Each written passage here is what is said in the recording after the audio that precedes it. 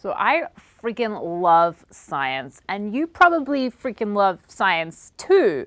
Science brought us computers, which brought us YouTube, and science brought us sugar that has no calories, and science brought us Neil deGrasse Tyson. The ring lights that you put on your phone to make your selfies look amazing.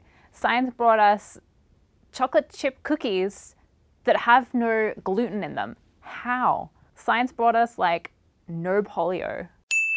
Science brought us air travel, which brought me to America, sucked in America. Hopefully, an end to climate change. Science also brought us broccoli and sweet potatoes, which didn't exist in that natural world. And like really juicy peaches and apples and stuff.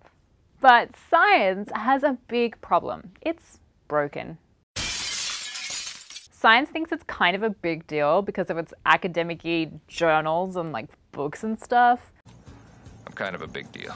But whilst that used to work in the good old days when only certain people could publish stuff, in today's digital world, anyone can publish stuff.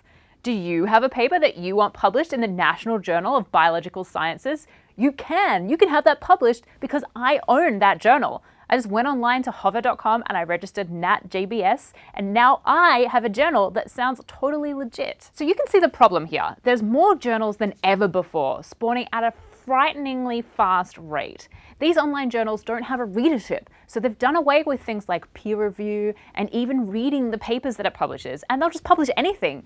The way they make their money is by charging a publication fee to the authors. Now, you might ask, who would pay actual real money to get their papers published in a shitty journal when they could just get published in a legit paper for free. Well, here's the point scientists need to get published in order to get promoted. And since it's really, really, really hard to get a paper published, publishing in these journals for the low, low price of $799 seems like an awesome idea. That's how a paper titled Get Me Off Your Fucking Email List was accepted in the International Journal of Advanced Computer Technology. Not only did this journal publish the paper, but they sent the authors a reviewer report that had graded the paper as excellent, which is ridiculous because this journal claims to be peer reviewed. Right now, it's an act of spectacularly willful denial by the entire scientific community to assume that the science system we have is still working properly. Now, when I pitched the idea for this video to my producer Beck, she was like, academic journals? That sounds boring. Why should we care? But the thing is, this stuff really, really matters. When the publication system doesn't work, it means that anti-abortion advocates and gun lobbyists can make up fake data and get it published in legit sounding journals. I cannot tell you how many times people in the comments section have sent me links to this article about gun control. Now, it looks like a legitimate journal article, doesn't it? But it was written by a lawyer for the National Rifle Association, Don Kates, and a Canadian guy who wrote a book called, and I'm not even joking, Manipulating Public Opinion.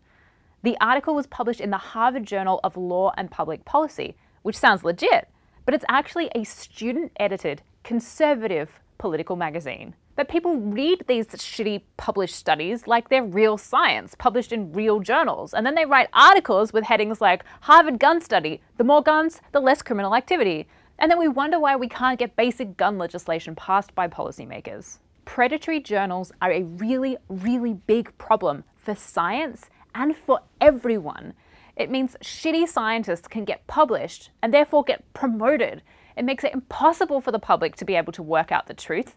It means that drug companies can get drugs passed that should never be passed. It means oil companies can continue to lie about climate change in academic settings. And worst of all, it reduces trust in science. In the words of Kat Arney, Scientists, research funders, and journals are locked in a desperate three way codependent clusterfuck when nobody is prepared to pull out first for fear of ruining it for everyone else. And if they're not going to do anything about it, then we have to. We can't ignore this problem any longer.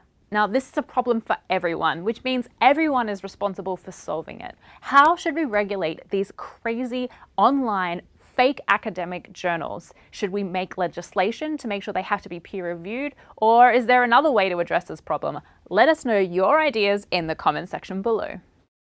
Hi everyone, I'm Jade Lovell, resident science nerd on the Young Turks Network. You're watching SciQ and we know you don't want to miss an episode, so please click the subscribe button down below.